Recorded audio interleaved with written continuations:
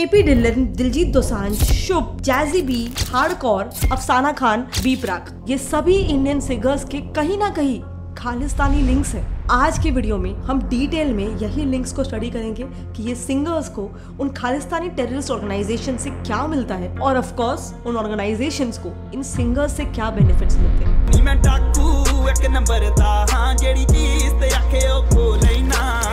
इंद्रपाल मोगा का डाकू सॉन्ग आज इंडिया में ट्रेंड कर रहा है। लेकिन इंडियंस नहीं जानते हैं कि ये सॉन्ग खालिस्तानी सेपरेटिज्म प्रमोट कर रहा है। नहीं मैं डाकू एक नंबर था और मेरी एक जीप के बदले में दो ले लूँगा। ये दोनों सीमिंगली नॉन कॉन्ट्रोवर्शियल लाइन किसके स्टेटमेंट है? आप जानते हो? The infamous Khalistani separatist leader Bhindranwale के स्टेटमेंट है। मैं डाकू एक नंबर दा मैं डाकू एक नंबर दा ਇੱਕ ਜੀਪ ਖੜੀ ਮੇਰੀ ਥਾਣੇ ਦੇ ਵਿੱਚ ਬਦਲੇ ਤੇ ਮੈਂ ਦੋ ਲੈਣਾ। ਤਾਂ ਮੈਂ ਰਿਆ ਚ ਤਾਂ ਵੀ ਜੀਪ ਲੈਣੀ ਹੈ। ਪਰ ਇਹ ਚੇਤਾ ਜ਼रूर रखो भी ये एक जीप ਦੀਆਂ दो ਲੈਣੀਆਂ। ਹੈ इनफैक्ट इस सॉन्ग में तो भिंद्र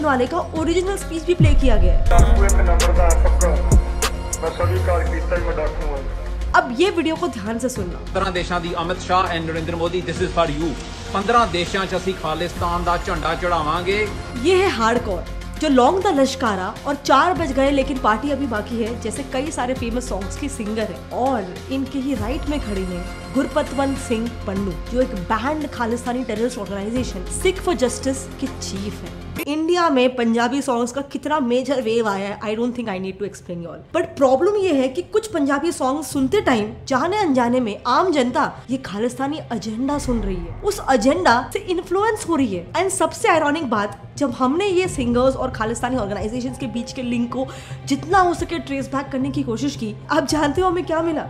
किसी को भी ना तो पंजाब से फ़र्क पड़ता है, ना ही खालिस्तान से। ये पूरा खालिस्तान का एक मुद्दा एक तरीके से बुना गया है। कई सारे खालिस्तानी ऑर्गेनाइजेशन इस खालिस्तान मुद्दे की आड़ में अपने इलीगल कांड कर रहे हैं। इससे वो लोग अपना खुद का पर्सनल मोटिव पूरा कर रहे हैं, पैसा कमा रहे लेकिन पंजाब की आम जनता को मैनिपुलेट कर रहे हैं। इसीलिए मैं रिक्वेस्ट करूँगी कि आप प्लीज़ इस वीडियो को एंड तक देखिएगा और आपको सिर्फ़ हाफ़ इन्फॉर्मेशन मिलेगा। And half information is even more dangerous than no information after all ये बात भी हमारे देश की सिक्योरिटी का ही है। तो देखो, हमारे देश में खालिस्तान को सपोर्ट करने वाले दो टाइप के सिंगर्स हैं। एक, जो खुला बोलते हैं कि हाँ हम खालिस्तान को सपोर्ट करते हैं। सो हाय सरकार सेम बीफ ये गाने भले आपने नहीं सुने होंगे, लेकिन इनमें 200 700 मिलियन व्यूज़ है। इन जैसे सॉन्ग्स के फ़ेमस प्रोड्यूसर बिग बर्ड ने हाल ही में, मार्च 2023 में ही अपने इंस्टाग्राम और ट्विटर हैंडल्स पे उसके बायो में लिखा hashtag I am Punjabi not an Indian जिन्हें मेरा दिल लुटिया। ये गाना भी वर्ल्ड फ़ेमस है।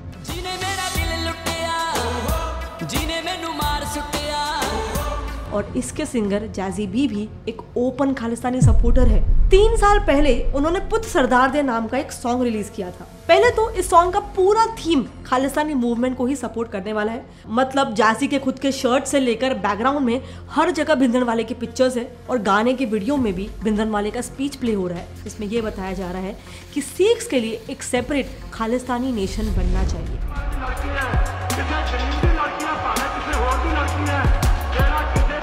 इनफैक्ट 2021 में ministry of information and broadcasting ने जैजी के एक ट्वीट को भी बैन किया था जिसमें वो भिंदन वाले को ग्लोरीफाई करके खालिस्तानी सेपरेटिज्म को प्रमोट कर रहे थे। ऑफ़ कोर्स इसके अलावा जैसे हम लोगों ने इंट्रोडक्शन में बात किया हार्ड कॉर भी थी जिन्होंने ओपनली खुल्लम खुल्ला खालिस्तान को सपोर्ट किया। इनफैक्ट इंडियन गवर्नमेंट के खालिस्तानी मूवमेंट के एक्शन के अगेंस्ट में उन्होंने खुल्लम खुल्ला उन्हें चैलेंज भी किया कि अगर मोदी जी और अमित शाह में दम है तो वो उनसे आकर रिंग में वन टू वन फाइट करके बताए। Amit Shah, Modi, anyone, come along with me in the ring. I know थोड़ा वियर्ड है। बट इनके जैसे सभी singers of course openly Khalistan movement को सपोर्ट नहीं करते हैं। बाकी सिंगर्स दूसरे तरीके से ऑपरेट करते हैं। यानी कि इंडियन गवर्नमेंट के अगेंस्ट अलग अलग मुद्दे जो देश में होते रहते हैं उन मुद्दों की आड़ में कई बार खालिस्तानी मूवमेंट को प्रमोट किया जाता है। हम ऑफ़ कोर्स हम सारे इवेंट्स को कवर नहीं कर सकते बट दो मेजर इवेंट्स के थ्रू हम इस नैरेटिव को समझने की कोशिश करेंगे। सबसे पहला है 2020 का फार्मर प्रोटेस्ट और दूसरा इवेंट है सेपरेटिस्ट अमृतपाल सिंह के अगेंस्ट जो क्रैकडाउन हुआ था, वो वाला इवेंट इन दोनों भी इवेंट्स में जो सबसे ज़्यादा वोकल थे, वो है actor and singer Diljit Dosanjh so 2020 में दिलजीत ने फार्मर प्रोटेस्ट को ज्वाइन किया, वहाँ उन्होंने वन करोड़ भी डोनेट किया। नाउ इसी प्रोटेस्ट को लेकर कंगना रनौत और दिलजीत के बीच एक बहुत ही इंटरेस्टिंग ट्विटर वॉर चला। चलो उसकी डिटेल्स में नहीं जाएँगे। लेकिन उस वॉर के एंड में कंगना ने दिलजीत से कहा कि वो ओपनली बस एक बार कह दे कि मैं खालिस्तानी सपोर्टर नहीं हूँ। इसके बाद अगर वो ऐसा कह देते हैं तो कंगना का कहना था कि वो पब्लिकली दिलजीत से माफ़ी मांगेगी। बट इस ट्वीट के बाद पूरे वॉर में पार्टिसिपेट करने वाले दिलजीत ने एक भी ट्वीट नहीं किया, कुछ भी जवाब नहीं दिया। उल्टा दिलजीत के फार्मर सपोर्ट को ब्रॉडकास्ट करने के लिए पब्लिसाइज करने के लिए उसको फीचर करने वाला सॉन्ग आतवादी प्रोड्यूस हुआ, जिसमें इंडिया को क्लियरली धमकी दी गई कि जिन्हें तुम टेररिस्ट बुला रहे हो वो अगर सही में टेररिस्ट बनने पे आ गए ना तो तुम यानी कि गवर्नमेंट से कहते हुए कि गवर्नमेंट इसे हैंडल नहीं कर पाएगी।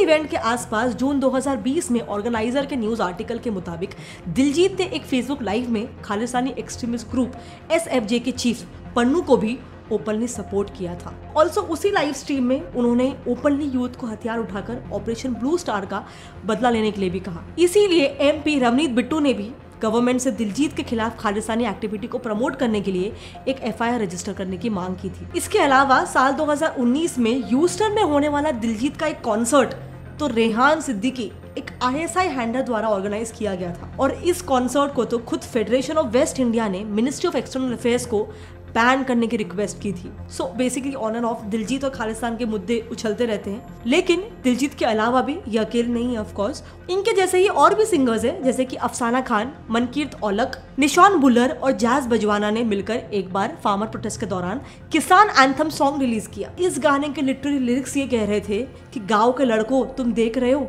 तुम दिल्ली आओ, क्योंकि पंजाब दिल्ली में मर रहा है.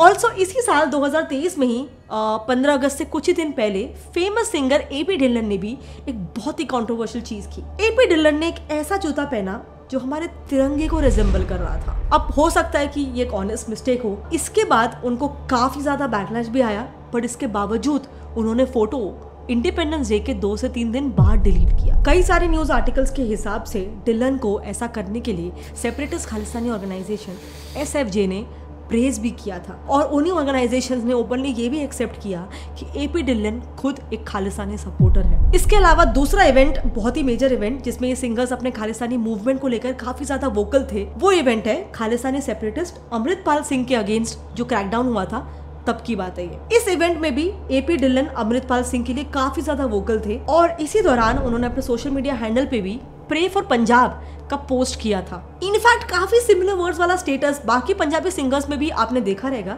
जैसे कि दिलजीत दोसांझ, नीरू बाजवा, शुभ, जिसका अभी जस्ट कॉन्सर्ट इंडिया में कैंसिल हुआ, उन सबके सोशल मीडिया हैंडल्स पर काफ़ी सिमिलर पोस्ट था।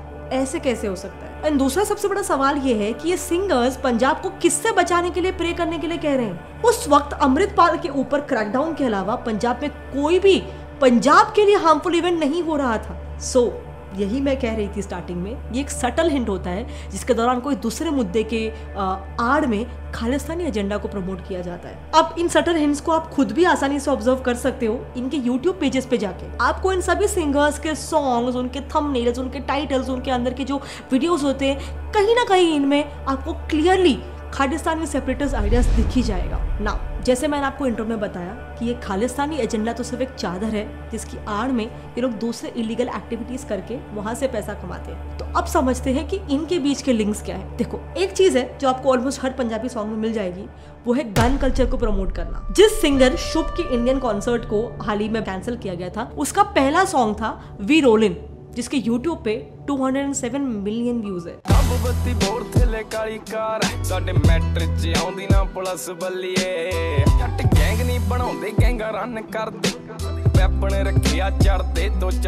उस गाने के लिरिक्स ये कहते हैं कि मेरे पास 32 बोर यानी गन है और हमसे पुलिस भी डरती है क्योंकि जटों का गैंग होता है और वो हथियार भी कैरी करते हैं। अब समझते हैं कि ये प्रमोट करके इनको फ़ायदा क्या होता है। वेल well, फ़ायदा है क्योंकि पंजाब में अलग अलग गैंग्स का और अलग अलग सिंगर्स का नेक्सस वर्क करता है जिसको बैक करने के लिए खालिस्तानी आइडियाज़ को प्रोपगेट किया जाता है। रुको डिटेल में बहुत ही सिंप्लीफाइड वे में समझाती पूरी दुनिया में खालिस्तानी आइडिया को रेडिकली प्रमोट और खालिस्तान के लिए रेफरेंडम को कंडक्ट करने वाली सिर्फ़ एक ही ऑर्गेनाइजेशन है सिख फॉर जस्टिस एसएफजी और उस ऑर्गेनाइजेशन का चीफ है गुरपतवंत सिंह पन्नू। याद है इंट्रोडक्शन में जो हार्डकोर के साथ खड़े थे? वही। ना हो इस एस के अंडर दो major Khalistani terrorist organisation Khalistan tiger force के और बब्बर खालसा इंटरनेशनल बी और इंटरनेशनली भी खालिस्तानी टेररिस्ट एक्टिविटीज़ कंडक्ट करते हैं। फॉर इंस्टेंस एनआईए की ऑफिशियल डॉक्यूमेंट में ये मेंशन है कि केटीएफ कनाडा में आर्म ट्रेनिंग कैंप चलाते हैं और उन ट्रेनिंग को पंजाब के अंदर और इंडिया के अगेंस्ट अटैक्स में इस्तेमाल करते हैं। वहीं पे बी वो टेरर ग्रुप है जिसने हाल ही में 10 मई 2022 को पंजाब के पुलिस इंटेलिजेंस हेडक्वार्टर्स पे बॉम्बिंग्स की थी। अभी ध्यान से सुनना, क्योंकि हम बेसिकली समझेंगे कि ये सारे टेररिस्ट ऑर्गेनाइजेशन कैसे पंजाब के अलग अलग गैंग से एसोसिएटेड है। एंड देन फिर कैसे ये गैंग्स पंजाब में अलग अलग इलीगल एक्टिविटीज़ करके पैसा कमाते हैं एंड कैसे उस मनी को खालिस्तानी एक्टिविटीज़ के लिए डिप्लॉय करते हैं? या फिर खालिस्तानी एजेंडा के अंडर बचकर ये अपने अलग अलग इलीगल एक्टिविटीज़ करते हैं? एंड फाइनली हम ये समझेंगे कि कैसे हमारे अलग अलग पंजाबी सिंगर्स इन गैंग्स एंड इन टेररिस्ट ऑर्गेनाइजेशन से लिंक्ड है। So coming back Khalistani tiger force के को हरदीप सिंह निज्जर लीड करता था। ये वही है जिसके मरने के allegation Canadian PM Justin Trudeau India पे लगा रहे थे। लेकिन अब निज्जर की डेथ के बाद इस ऑर्गेनाइजेशन को दो पंजाब बेस्ड गैंगस्टर्स सुखदूल सिंह उर्फ़ सुखा दुनेका और अर्शदीप सिंह उर्फ़ अर्श दल्ला फॉरेन कंट्रीज़ से रन करते हैं। सुखदूल तो हाल ही में ट्वेंटी सितंबर को मारे गए, इसीलिए अब अर्शदीप सिंह सोनली के रन कर रहे हैं। वहीं पे अगर बब्बर खालसा इंटरनेशनल बी की बात करें तो ये ऑर्गेनाइजेशन 1978 में शुरू हुई थी। आयरोनिकली इसकी वजह फॉर्मेशन की वजह थी। निरंकारीज एंड अखंड कीर्तनीज, इन दो सिख सेक्ट्स के बीच की राइवलरी इस ऑर्गेनाइजेशन की फॉर्मेशन की वजह थी। बट अब ये ऑर्गेनाइजेशन खालिस्तान कॉज के लिए लड़ रहे हैं और उन्हें currently Pakistan based Wadhawa Singh also known as Chacha also known as Babbar lead कर रहे हैं। और बब्बर को असिस्ट और बी के लिए रिक्रूटर का काम कर रहे हैं Pakistan based designated terrorist Harvinder Singh Sandhu also known as Rinda जो एक वक्त पे इंडिया में गैंगस्टर थे।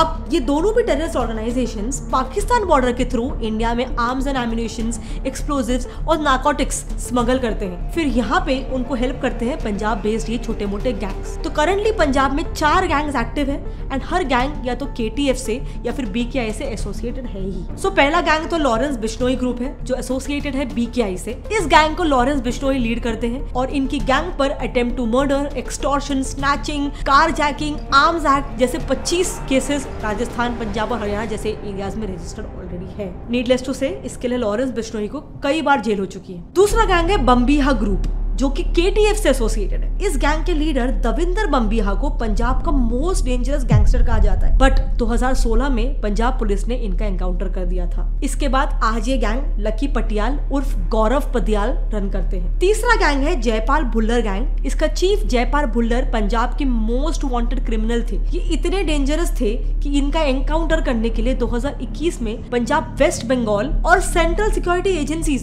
इन तीनों को मिलकर ज्वाइंट ऑपरेशन करना पड़ा था। फाइनली आखिरी गैंग है, जग्गू भगवानपुरिया गैंग इसको रंग करते हैं जसदीप सिंह, जो सुपारी किलर यानी कि कॉन्ट्रैक्ट किलर के नाम से भी पंजाब के माजा एरिया में बहुत फ़ेमस है। सो ये हो गया इन सारे गैंग्स का एक बेसिक ब्रीफ लेकिन भुल्लर और भगवानपुरिया गैंग का क्लियर एसोसिएशन कौन से टेररिस्ट ऑर्गेनाइजेशन से है, ये ऑनेस्टली हमें नहीं मिला। बट एनआईए के चार्जशीट में ऑफिशियली इनके खालिस्तानी एक्टिविटी इन्वॉल्वमेंट का क्लियर मेंशन है। बेसिकली सभी गैंग्स जिन भी टेररिस्ट ऑर्गेनाइजेशन से एसोसिएटेड है, ये उनके लिए drugs killings extortion illegal liquors और आर्म स्मगलिंग बिज़नेस से ये लोग पैसा कमा के उनको देते हैं। इनके इस बिज़नेस में एक्सटॉर्शन बिज़नेस काफ़ी ज़्यादा प्रोमिनेंट है। ये gangs mainly businessman Punjabi singers and actors को टारगेट करके उनसे पैसे एक्सटॉर्ट करते हैं। इसीलिए आज अपने इसी एक्सटॉर्शन नेटवर्क को ये गैंग्स एक स्टेप आगे ले चले गए हैं। उन्होंने अपने इस बिज़नेस में, यानी अपने गैंग में पंजाबी सिंगर्स को भी इंक्लूड कर लिया है। सो इंडिया टुडे के मुताबिक पिछले साल मई महीने में अमृतसर पुलिस ने सिंगर करतार चीमा को एक्सटॉर्शन के लिए अरेस्ट किया था। क्योंकि वो एक सिंगर बिश्नोई गैंग के लिए एनएसयूआई के चीफ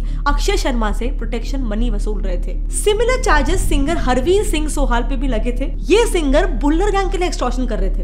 एक्चुअली पंजाब में ये सभी सिंगर्स किसी ना किसी गैंग से एसोसिएटेड होते ही लेकिन यहाँ पे स्टोरी खत्म नहीं होती। यूट्यूब के अलावा बाकी सोर्सेज से आए पैसों को भी गैंग्स वापस हवाला और एम नेटवर्क्स यानी कि यूनियन मनी ट्रांसफ़र जैसे नेटवर्क से खालिस्तानी ऑर्गेनाइजेशन को भेजते हैं। मेजरली तो ये पैसे खालिस्तानी सेपरेटिस्ट एक्टिविटीज़ में ही यूज़ होते हैं। एनआईए की चार्जशीट में मेंशन है कि खालिस्तानी ऑर्गेनाइजेशन उस पैसे को yacht Canadian premier league Thailand based clubs and bars हाल ही में 2022 में मोहाली पुलिस ने ठग लाइफ और गोल्ड मीडिया इन दो फ़ेमस म्यूज़िक कंपनीज़ पर क्रैकडाउन किया था, जो इन गैंगस्टर्स के पैसों से चल रही थी। And again you will not believe this but इस गोल्ड मीडिया के साथ गुरु रंधावा, मिलिंद गाबा, जस्सी गिल, मिक्का सिंह, गिप्पी ग्रेवाल और एमी विर्क जैसे बड़े बड़े सिंगर्स तक काम कर चुके हैं। सो so बेसिकली ये पूरे फ्लो को अगर शॉर्ट में बताऊँ तो अलग अलग Khalistani terrorist organization and even Pakistani terrorist organization Punjab के चार पाँच गैंग्स के साथ एसोसिएटेड होते हैं। जिन गैंग्स को आदेश होता है बाय हुक और क्रुक उन्हें वो पैसा पहुँचा दे। ये गैंग्स फिर अलग अलग लीगल एक्टिविटीज़ का यूज़ करते हैं, जैसे कि मर्डर एक्सटॉर्शन हैकिंग वगैरह, बहुत सारे एक्टिविटीज़ जिनसे वो पैसे कमाते हैं। नाउ यही गैंग्स एसोसिएटेड होते हैं सिंगर्स के साथ भी, जिनके साथ ये काम करके कोलैबोरेशन वगैरह करके वहाँ से भी पैसे कमाते हैं। या तो फिर इन सम वर्स्ट केसेस ये सिंगर्स को ही प्रोटेक्शन मनी या पैसा वसूल करने के लिए भेज देते हैं। फिर ये सिंगर्स एंड अलग अलग तरीकों से आए पैसों को, वो वापस से री करते हैं। इन्हीं सिंगर्स पे, इन्हीं, इनके मूवीज़ पे, इनके सॉन्ग्स पे अलग अलग रिसोर्ट रिसोर्ट्स पे क्लब्स पे बार पे एंड देन वहाँ से ऑफकोर्स अगेन कमा के ये पैसा रोटेशन में चलता रहता है। बट पूरा समझाने के बाद मेरा ये भी फ़र्ज़ बनता है कि मैं आपको एक बार सिंगर्स का भी पर्सपेक्टिव बता दूँ। यस हमें ये भी साइड देखना चाहिए कि हर एक सिंगर खुद की मर्ज़ी से इस नेक्सट में काम नहीं कर रहे हैं। इस बात को खुद सिंगर मिक्का सिंह ने भी एक्सेप्ट किया है कि पंजाबी सिंगर्स को ऐसे थ्रेट्स अक्सर आते हैं और मेरे पर्सनल एक्सपीरियंस से कह रहा हूँ कि पंजाबी इंडस्ट्री में काम करना काफ़ी डिफ़िकल्ट है। सेम केस अप्रैल 2018 में भी सामने आया, जिसमें गैंगस्टर दिलप्रीत सिंह ने पंजाबी सिंगर परमीश वर्मा पे अटैक करके उस इंस्टेंस को रिकॉर्ड करके फेसबुक पेज पर अपलोड कर दिया। और न्यूज़ रिपोर्ट्स के हिसाब से आगे वो जब भी जिसके साथ भी एक्सटॉर्शन करता था, वो उसे उसी सिंगर का वीडियो बताकर धमकाता था। सो ऑल इन ऑल इसे हम ये समझ सकते हैं कि खालिस्तान तो सिर्फ़ एक बहाना है, जिसको यूज़ करके कुछ आर्टिस्ट इंडिया से लेकर कनाडा तक सिक्स सेंटिमेंट्स के साथ खेल रहे हैं। लेकिन जैसे मैंने आपको बताया, इसमें पिस रहे हैं पंजाब की युद्ध। एंड हाँ मैं बिल्कुल भी नहीं कह रही कि हर एक पंजाबी सिंगर हर एक पंजाबी सॉन्ग खराब है। बट हाँ मैं ये ज़रूर कह रही हूँ कि हमें हल्का सा अवेयर होना चाहिए कि हम इंटेंशनली या फिर अनइंटेंशनली किस एजेंडा को प्रमोट कर रहे हैं, किसे फंड कर रहे हैं? एंड लास्टली मेरा ये वीडियो हमारे सिख भारतीयों के लिए बिल्कुल भी नहीं है। हिस्टोरिकली और आज भी बहुत सारे ऐसे सिख्स हैं जो कंप्लीट पेट्रियट्स है कंप्लीट नेशनलिस्ट है, और जिन्होंने भारत के लिए बहुत बड़े बड़े योगदान दिए हैं। मेरे हिसाब से ऐसे सिख इंडिया का नाम रोशन करते हैं एंड ये कभी भी इंडिया में अनसेफ नहीं फील करेंगे। जैसे अनफॉर्चुनेटली आज काफ़ी सारे मेल्स इंडिया में अनसेफ है। डिड यू नो आज इंडिया में रजिस्टर होने वाले 74% रेप केसेस कम्प्लीटली फेक होते हैं? यस yes, बहुत सारे ऐसे लॉज हैं जो बनाए तो अच्छी चीज़ों के लिए गए हैं औरतों की सुरक्षा के लिए गए हैं बट अनफॉर्चुनेटली कई सारी औरतें इन्हीं लॉज के लूपहोल्स वगैरह निकाल के इनका मिसयूज करती है मर्दों को फंसाने के लिए। इस टॉपिक पर हमने डिटेल वीडियो बना रखा है कि वो कौन से लॉज है, कौन से लूप होल्स है एंड कैसे आप इनसे बच सकते हो। अगर आप वो देखना चाहते हो तो आप यहाँ पर लेफ़्ट पे क्लिक करके उसे देख सकते हो। इसके अलावा प्लीज़ मुझे बताइए आपको आज का वीडियो कैसा लगा नीचे कॉमेंट सेक्शन में एंड आपका इस पूरे मुद्दे के बारे में क्या कहना है? क्या आपके हिसाब से हमें ऐसे सिंगर्स को, ऐसे सॉन्ग्स को बॉयकआउट करना चाहिए, या आपके हिसाब से ये सिर्फ़ एक आर्ट है, एक एंटरटेनमेंट है। एंटरटेनमेंट को हमें नेशनल सिक्योरिटी से अलग रखना चाहिए। आपके क्या ओपिनियन है इस मुद्दे पर? मुझे प्लीज़ नीचे कॉमेंट सेक्शन में बताइएगा। मिलते हैं अगले टाइम तब तक के लिए जय